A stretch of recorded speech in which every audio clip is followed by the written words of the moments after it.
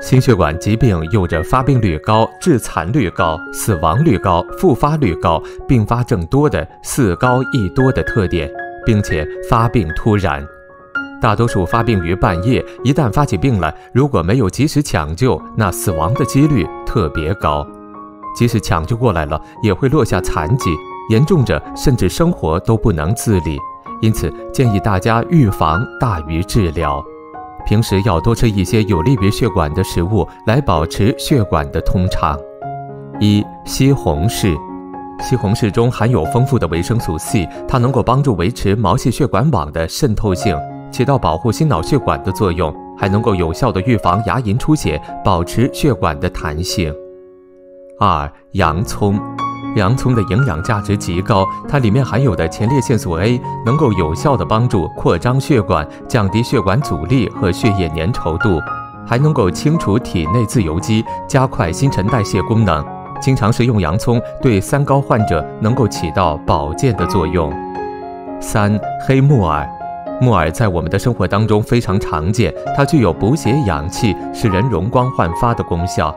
它里面含有丰富的维生素 K，可以降低人体的血液凝结，其中的胶质还可以把残留在人体内的杂质吸附到一处并排出体外。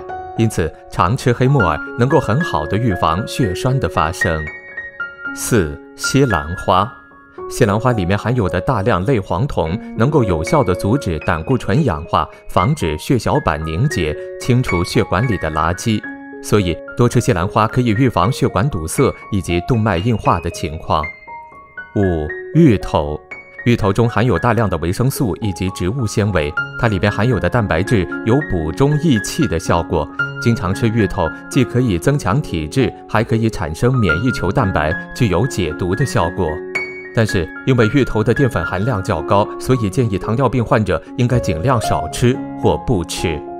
六、猕猴桃，猕猴桃也是一种富含维生素 C 的水果，每一百克的猕猴桃当中含有六十九毫克左右的维生素 C，是合成骨胶原不可缺少的原料之一。平时多吃一些猕猴桃，能够帮助我们打造柔韧性强的血管，此外还能具有降血压的作用。七、山楂。从中医的角度来说，山楂是一种不错的抗血栓中药。山楂含有脂肪酸，具有化浊降脂的作用，进而促进脂肪的消化，能够预防动脉粥样硬化。